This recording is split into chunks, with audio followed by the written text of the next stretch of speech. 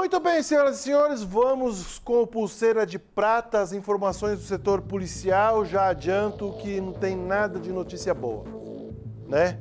Mas daqui a pouco a gente fala sobre esse acidente terrível, trágico que aconteceu no final da tarde. Porque agora nós vamos falar de, de um caso que aconteceu lá no posto de saúde do bairro Santa Rita. As funcionárias procuraram a terceira delegacia para denunciar um homem que teria pedido uma consulta e ao ligarem o homem informou que a consulta teria sido agendada. Ele passou a xingar e ameaçar as funcionárias do posto que foram à delegacia registrar o BO. Alfredo Neto, direto das ruas de Três Lagoas, neste, nesse horário. Ô Alfredo, que situação, hein, meu amigo? Como foi esse caso de ameaça?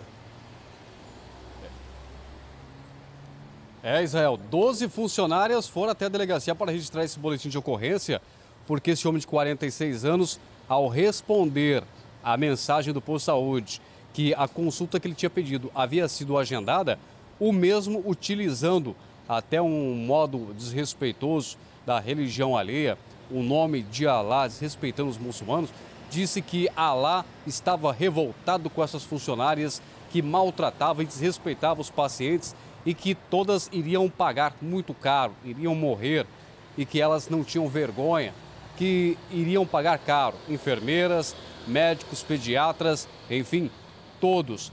Aí das ameaças partiu para a agressão verbal, chamando essas funcionárias prostitutas, entre outros palavrões que falaram para elas como forma de ofensa. As funcionárias revoltadas com a situação e também amedrontadas, porque essa não teria sido a primeira vez que o mesmo teria ameaçado essas mulheres, elas foram até a delegacia onde registraram o boletim de ocorrência por ameaça, injúria e também por ofensa. E agora a polícia vai investigar esse homem de 46 anos que proferiu essas ameaças. A polícia vai tentar entender o que aconteceu com essa pessoa. Se ele procurava atendimento, se tem algum problema psiquiátrico, psiquiátrico ou simplesmente está achando que não está sendo bem atendido e está utilizando da forma da agressividade para tentar coagir as funcionárias e tentar, por meio desta forma, conseguir o que ele tanto procura naquela unidade de saúde. Mas o caso chamou atenção porque as 12 funcionárias que trabalham naquela rede de saúde procuraram a delegacia para registrar o boletim de ocorrência, porque ambas foram ameaçadas, se sentiram ameaçadas e, segundo as testemunhas, as vítimas, não seria a primeira vez. Já houve outras ameaças por parte dessa mesma pessoa às funcionárias daquela unidade, Israel.